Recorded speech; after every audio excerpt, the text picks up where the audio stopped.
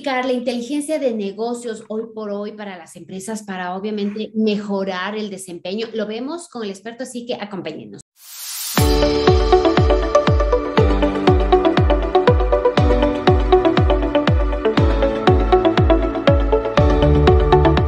Negocios en Digital 837.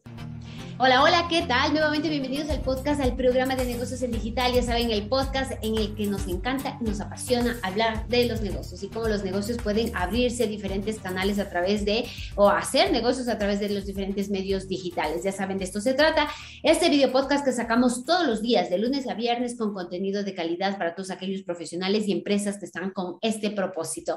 Y hoy estamos un martes más, martes 7 de diciembre del 2021, en nuestro segmento, pues, de, de entrevistas de negocios vamos a hablar sobre cómo aplicar la inteligencia de negocios con nuestro invitado, pero claro, no sin antes dar las gracias a nuestros patrocinadores, que por un lado tenemos a la Cooperativa Andalucía que apoyando a, a la reactivación económica acá en el Ecuador, pues ha lanzado créditos de consumo y microcréditos con interesantes tasas de interés. Así que echarle un vistazo. En las notas del programa estarán los enlaces o si no, visitar directamente la cooperativa Andalucía.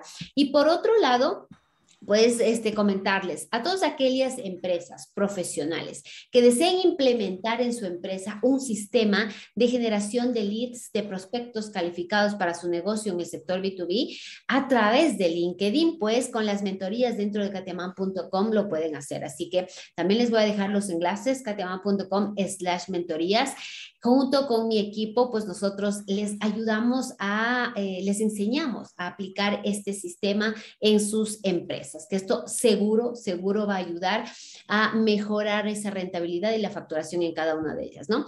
Así que, pues bueno, ya con este preámbulo y algo, algo más antes de que se me olvide. Recordar que este contenido también está siendo retransmitido por nuestros canales aliados como son Tu Voz TV, Contraportada y El Vanguardista. Adicional de ello, ustedes ya saben que este contenido adicional de estar en la web, va a ser retransmitido en eh, directo a través de nuestras redes sociales, Facebook, YouTube y em, Twitter, así que echarle un vistazo. Y ahora sí, pues vamos a entrar con la entrevista del día de hoy. ¿Cómo aplicar la inteligencia, la inteligencia de negocios a, las empresas? ¿No es cierto? Y para esto tenemos a un invitado especial, nos acompaña Juan Diego Campuzano. Eh, Juan Diego, gracias por estar aquí. Gracias, Katia. ¿Cómo has pasado? Muchas gracias por este espacio, por este tiempito. Y me encanta el programa, me encanta que hagan acá consejos y entrevisten a gente que puede dar algo más o algo de lo que saben para que sus negocios mejoren, crezcan, mejorar rentabilidad, mejorar ventas, me parece espectacular. Claro, y gracias a ti por justamente generar este contenido que sirve para que otros empresarios puedan mejorar, ¿no? Que de esto se trata. Este es el objetivo del podcast, sacar contenido de valor para que la comunidad empresarial crezca, ¿no? Y bueno, vamos a entrar en materia y antes de eso, mi querido Juan Diego, quería que por favor te presentes. ¿Quién es Juan Diego Campuzano y a qué te dedicas? Katia, mira, eh, yo soy Juan David Campuzano, tengo eh, experiencia de cerca de 20 años en temas de negocios, eh, emprendedor, eh, trabajo para una compañía representante de una marca y tengo una pasión, de hecho dos pasiones. la, primera es de los mercados financieros, la segunda es del business intelligence o la inteligencia de negocios. Eh, seguí una maestría en España de la, la inteligencia de negocios. No tengo formación técnica, es mucha pasión. Lo que, el tema de inteligencia de negocios me encanta mucho. He diseñado sistemas de inteligencia de negocios para varias compañías em, y, de, y, de, mucho la experiencia, te puedo decir, em, es algo que realmente genera valor. Em, ayer teníamos una reunión con un cliente y nos decía, imagínate que tú juegas un partido de fútbol y que metes un gol, pero no sepas el score, no tengas el marcador lo, difícil que fuera implementar estrategias, lo difícil que fuera saber si es que en un momento digo, bueno, estoy ganando el partido 3-0, se está acabando cinco minutos, le voy a sacar a mi estrella para cuidarle. Entonces, eh, mira lo difícil que se vuelven las decisiones si no sabes a dónde ver. Entonces, básicamente eso me, parece, resume muy bien este tema del Business Intelligence. Ese es un poquito como mi introducción, quién soy y, Claro que sí. De hecho, gracias, valiosa introducción y me pareció muy bueno este ejemplo del partido de fútbol muy visual para que vayamos aterrizando estos conceptos. Y bueno, eh, y es interesante, ¿no? Partamos de un concepto y pues me he traído el concepto de Wikipedia para, digamos, entender para algunas personas que de pronto nunca lo han visto o que no, o que no lo tenían muy claro. Y es que, bueno, una inteligencia de negocios eh, o se denomina de otras formas, ¿no? Inteligencia empresarial, inteligencia comercial o el BI, que es el Business Business Intelligence, que tú bien lo mencionas, que sería este conjunto, ¿no es cierto?, de estrategias, técnicas, aplicaciones, este, productos, tecnología, arquitectura, incluso, que permita... Em, enfocar a la administración, a la gestión del, negocio, a eh, crear conocimiento por medio de un análisis de datos, ¿no es cierto?, para una organización. Esto es lo que nos comenta Wikipedia en forma de, mm, digamos, de un concepto. Ahora, em, bajo tu criterio, y, bien has mencionado, y nuevamente gracias por este ejemplo muy práctico que nos das, ¿no es cierto? Ahora, entendiendo esto, y sé que es una pregunta muy general, pero de igual manera, en forma práctica, cómo una empresa debe aplicar la inteligencia de negocios.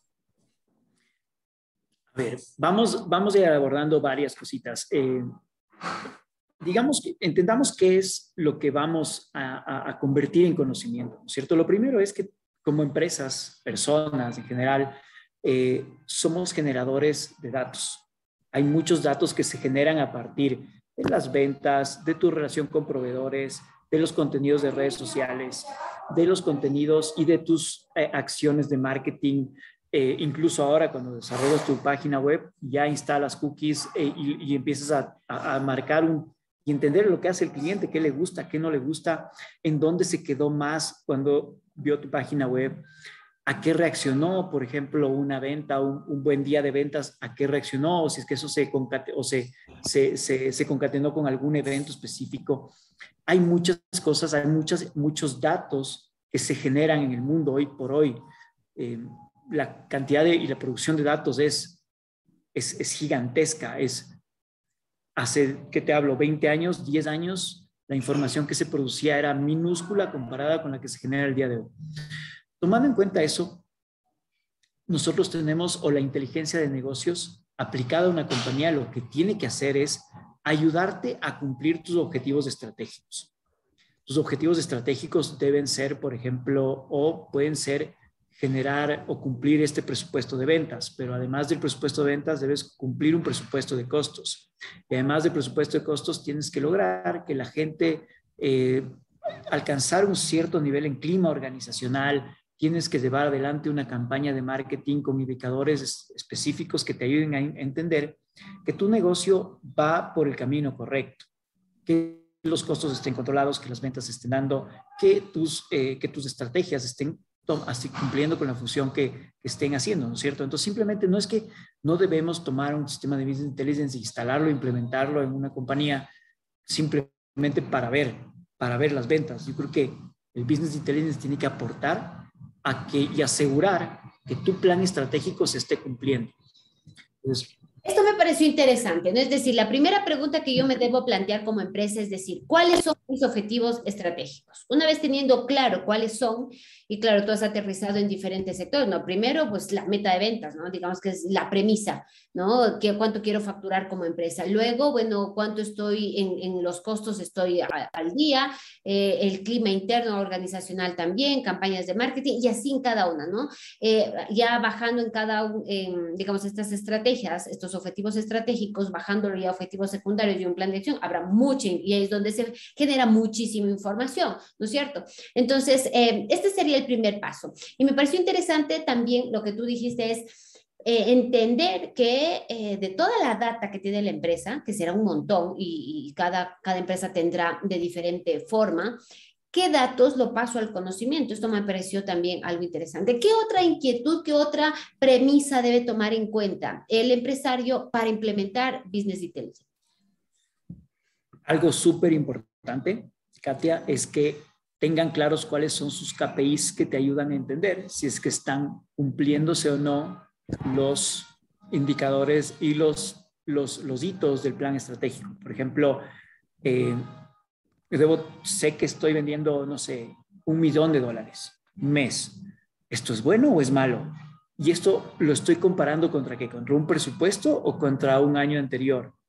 Em, o contra hacia dos años anteriores. Mira que estamos pasando, 2021 es ya post pandemia y 2020 pocas empresas crecieron, entonces muchas empresas se comparan contra el 2019. Eh, entonces son cositas que tienes que entenderlo para, para plantearlo bien en tu sistema de inteligencia de negocios y que te dé un norte y alertas tempranas. Entonces, lo más importante es entender cuáles son los KPIs que quieres ver. Estás haciendo, estás midiendo ventas versus un presupuesto versus un, crecimiento del año anterior. Estás midiendo tu rentabilidad. Estás midiendo tus costos. Eh, definir KPIs muy claros. Eso primero le va a dar a la empresa de, Business Intelligence, le va a dar eh, la, certeza y la claridad de decir, bueno, si necesitas medir eh, eh, ventas versus presupuesto, entonces este es el cálculo que tengo que hacer para implementar el sistema de Business Intelligence. Em, Perdón, ¿qué les dirías tú a aquellos empresarios que digan, bueno, o, se ha escuchado, ¿no?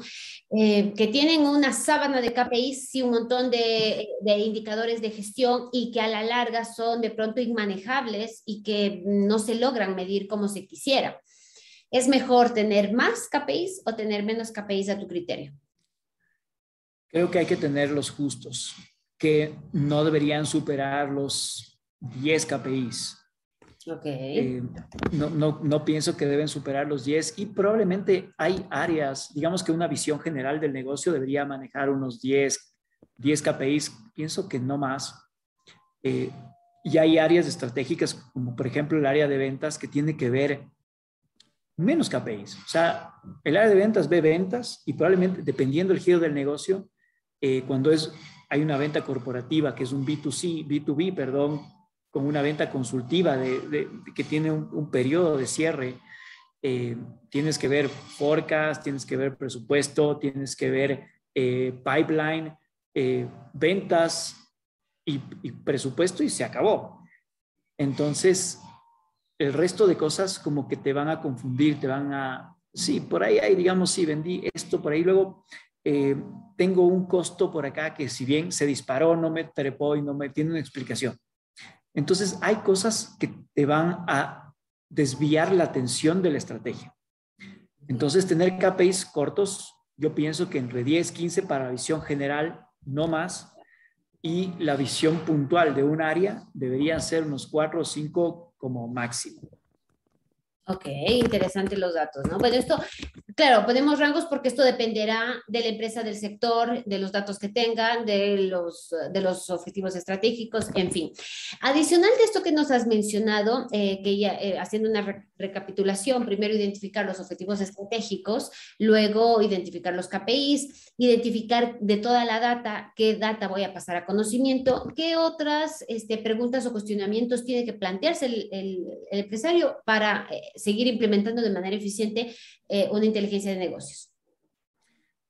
Hay una que es básica, me parece, ya digamos, pienso que esto es una necesidad eh, para todas las compañías.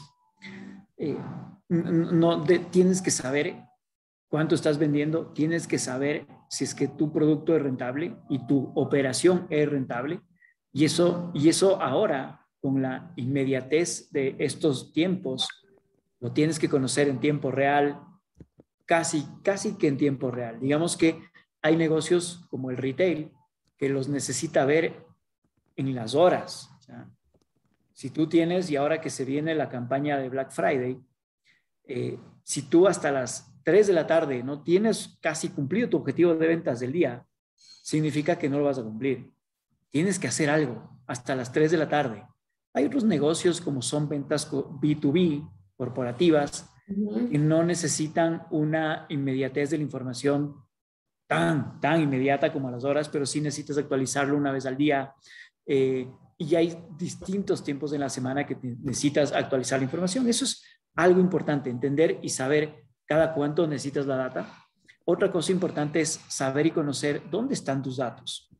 Hay muchas veces, y nos hemos topado, que eh, hay muchos datos que están en tu sistema de facturación. Por ahí llevas una parte de los datos, pero hay otros que llevan, la gente los lleva muy manualmente. Los lleva manualmente y toda la información que es manual, que se llena manualmente, requiere ser transformada y limpiada. Claro. es un problema, digamos que yo creo que em, habrá muchas empresas, habrá de todo, pero habrá empresas que tengan justamente esa diversidad de la data en diferentes sistemas y aparte, como tú dices, manual, ¿no es cierto? Y yo creo que ese es más difícil poder llevar una, digamos que e, esta, esta unificación, ¿no es cierto? Em, ¿qué, se recomendaría? Y entiendo que el proceso va a ser mucho más largo porque tengo que eh, normalizar, estandarizar y unificar toda esa data. El Business Intelligence, las herramientas de Business Intelligence están preparadas para recibir información de varias fuentes. Entonces, por ejemplo, tienes tu ERP que lo que hace es controlar todo el tema de facturación, contabilidad, etcétera. Entonces, tomas esa información del, ERP. Digamos que tienes otro sistema de inventarios. Entonces, el sistema de Business Intelligence lo que hace es tomar la información del ERP, del sistema de inventarios, y por ahí tienes redes sociales y también toma de las redes sociales y por ahí debas algún reporte manual que todas las empresas deban manual, casi todas las empresas deban manual, eh, digamos la parte de los presupuestos, el forecast, em, datos, datos de, de, horarios y cumplimientos de los vendedores, etcétera, etcétera. Vacaciones, por ejemplo, todas estas cosas que tú, te permiten a ti ver, ver, ver el, el negocio integralmente. Eh, el, sistema lo que va a hacer es tomar de diferentes, de diferentes fuentes de datos, estandarizar y limpiar esa información. Es probablemente lo que más tiempo toma en construir el, el modelo de datos. Entonces, el modelo de datos lo que hace es, bueno, este, este archivo de acá tiene este formato o estos campos tienen este formato, los voy a cambiar y los voy a arreglar. Y aquí hay data inconsistente, la voy a retirar. Y eh, luego de esto, lo que hace es voy a integrar la información que está en el RP con la información de inventarios, con las redes sociales, con la información manual, para presentarte a ti un único tablero con información que te permita a ti entender lo que está pasando. Por ejemplo, tienes un mes bajo en ventas porque se fueron dos vendedores. Y capaz el gerente general no tiene la idea, ni se acuerda que se fueron dos vendedores, pero eso te explica. Y dice, oye, claro, aquí vendimos la mitad porque se fueron dos vendedores. Entonces levantas el teléfono y en vez de decirle, al gerente de ventas decir, oye, no has vendido, ¿por qué no has vendido? La llamada es ventas, recursos humanos, oye, ¿por qué no me has reemplazado a estas personas? Porque me está costando mucho. Entonces, eh, esto te permite tomar acciones oportunas y evidentemente eh, que realmente corrigen el problema, el origen del problema. Y bueno, claro, esto digamos que es uno de los beneficios o los grandes beneficios, como tú bien dices, tomar acción, ¿no? Que el, la persona a cargo, el CEO, el líder, sepa qué está pasando de manera rápida, visual, incluso en una sola hoja o en un solo pantallazo, ver qué es lo que está pasando para tomar medidas, ¿no? Ahora, em, esto que tú dices, bueno, el sistema eh, que em, de manera inteligente coge RPs, coge data, coge manual, coge redes sociales, de todo un poco. Y que dice, bueno, eh, ¿cómo inteligencia? Y ahí va la pregunta, para las personas que no lo conocen, ¿qué tipo de sistemas tú recomendarías aplicar o son los convenientes o dependiendo de qué, en qué nivel está la empresa, se puede utilizar cierto o no cierto software para, para aplicar esto? Hay varios, hay varias soluciones de Business Intelligence. Em, de hecho, Garner, que es una consultora que evalúa soluciones tecnológicas, em, tiene un apartado específico de Business Intelligence y aquí hay herramientas como los, los el productor más grande de software como eh, Microsoft tiene su herramienta Power BI, eh, tienes a otro monstruo que es Click y que tiene su herramienta Business Intelligence que es ClickSense eh, o ClickView y por ahí tienes también Tableau que son herramientas que son muy potentes. A nivel de licenciamiento, Digamos que Tableau es una herramienta mucho más potente a nivel visual, pero es un licenciamiento más costoso. Eh, Click es como que es más costoso que Microsoft. Microsoft es, es, una herramienta que la licencia te cuesta mensualmente 10 dólares, entonces es pagable. Si es que es un, negocio chico que quieres, que quieres verlo todo en la palma de tu mano, porque también tienes que pensar en que ya, ya la forma de tomar decisiones ya no es tanto en, la, sala de juntas, ¿no? Es en el, en el momento en que las cosas pasan. Y para estar y tomar una decisión oportuna, muchas veces no, no estás pegado al computador en el momento que necesitas tomar la información, pero sí necesitas tomar la decisión, pero necesitas la información para tomar la decisión. Entonces, el momento que tienes es, primero, para considerar una, una herramienta de Business Intelligence es que te permita portabilidad, que te permita tener la data en tu teléfono celular para que tú puedas tomar las decisiones oportunamente. Que el licenciamiento sea pagable. Por ejemplo, hay licenciamientos que son caros. Tableau es caro. Si es que eres una compañía que puedes pagar Tableau, ah, está bien, evalúa si es que lo pagas. Pero si eres una empresa que no quiere pagar licenciamiento, porque a veces el licenciamiento es costoso y está saliendo y, no, y todos los costos que no son necesarios los vas a patear hacia adelante, entonces puede servirte una herramienta como Power BI, que es un licenciamiento muy barato, pero es una herramienta muy potente. Y digamos que no quieres pagar licenciamiento. Por ahí hay Excel y hay mucha gente que dice, oye, pero en Excel no puedo hacer Business Intelligence. Y la verdad es que sí puedes. El tema es que tiene sus limitaciones. Digamos que Excel tiene sus limitaciones, que muchas veces las limitaciones de Excel están muy, la frontera del límite de Excel es, es, es, alejado. Digamos que no puede ser una analítica, analítica con inteligencia artificial, pero te va a dar KPIs, te va a dar tiempo real. No, no vas a tenerlo en tu teléfono celular, ¿no es cierto? Pero por ahí eh, lo, lo, te puedes meter remotamente tu computador y ver el indicador.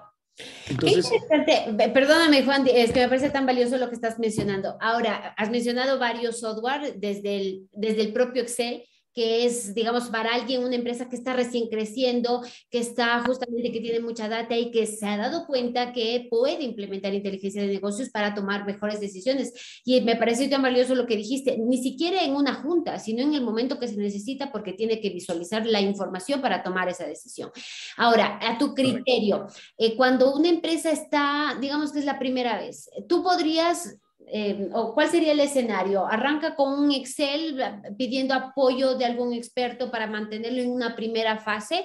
¿O de ahí irse a Power BI y luego escalar dependiendo eh, cuál sería esta estructura de crecimiento? Porque todas las empresas empiezan eh, siendo pequeñas, ¿no? Y van creciendo. En este escenario de ir creciendo de pequeño a grande para que justamente esa toma de decisiones ayude a ese crecimiento exponencial, ¿Cuál sería ese mapa de ruta que tú dirías en forma general? Em, verás, creo que lo primero que hay que pensar es en, cómo te quieres ver. Creo que tienes que pensar en escalar, ¿no es cierto? En hacer las cosas que, hoy por hoy planificas para tu compañía escalables para que luego de cinco años no estés limitado por lo que decidiste hace cinco años, ¿no es cierto? Entonces, eh, y pensando, pensando, siempre tenemos un dicho, piensa, piensa o planifica eh, piensa lo mejor, planifica y prepárate para lo peor. Entonces, imagínate que, que, vas a ser un monstruo de compañía en cinco años, pero tienes que empezar ajustado a tu presupuesto y a tus costos. Entonces, eso, y, claro, pero pensando y planificando que en, en, cinco años vas a ser un monstruo de empresa, piensa las cosas escalables. Entonces, por ejemplo, lo primero que yo recomendaría es un, no necesariamente tal vez ni siquiera un ERP, ni siquiera un ERP, sino tal vez alguien con experiencia en Excel que te ayude a tener una tablita que esté con datos de calidad y que te permita ir alimentando tus bases de datos en Excel, en Excel, pero con calidad el momento que escales y que digas, bueno, ya, ya no soy yo solito, Juan David Campuzano, sino que ya tengo mis 10 clientitos, ya puedo tener una solución tecnológica que me ayude más que el Excel. Entonces, bueno, voy a mirar a un ERP y tal vez, o ni siquiera un ERP, a un sistema de facturación electrónica. Entonces, bueno, voy a mirar el sistema de facturación electrónica, pero toda mi data está tan bien llevada desde el inicio, sin costos excesivos, que la puedo migrar sin dolores. Entonces, esas son las cosas, pienso yo, que tienen, que necesitas, necesitas pensarlas para que tus migraciones no sean dolorosas. Una migración de RP, Katia, es dolorosa. Es muy larga, toma hasta de un año a dos años. Y, normalmente suelen requerir equipos, asesorías externas, eh, tercerizaciones. Entonces, mientras más pienses en cómo mantener datos de calidad desde el inicio, la migración va a ser menos dolorosa. Y claro, mientras la información y la data sea de mayor calidad, el llevar un archivo de Excel para tomar tus decisiones es muy, muy viable. Muy, muy. Incluso si eres una empresa unipersonal que tiene tus datos en Excel, tomar estos datos por una herramienta de inteligencia de negocios como Power BI es gratuito, no te cuesta. Entonces, tienes información en la palma de tu mano, inmediatez, tienes información de calidad que te permite tomar decisiones en, el, en tiempo real. Oye, es, eh, me gracias, este, Juan David. Me pareció valioso el tema de que primero deberíamos arrancar desde en el nivel que estés y mejor si eres mientras más chico lo tengas sumamente claro, ya va el, digamos, lo valioso de la planificación y la organización, que esa planificación, que esa organización también esté en la data en donde tengas la data, pero que arranques eh, teniendo claro qué es lo que mm, vas a comenzar a, medir y organizar, porque ahí va a ser muchísimo más fácil la escalabilidad. Realmente muy valioso. Mi querido este, Juan Diego, gracias por, por el aporte, pero el tiempo nos está quedando corto. Son temas muy, muy apasionantes y que nos fuéramos de largo. De hecho, te invito para que en alguna otra oportunidad vengas y nos comentes más temas al respecto.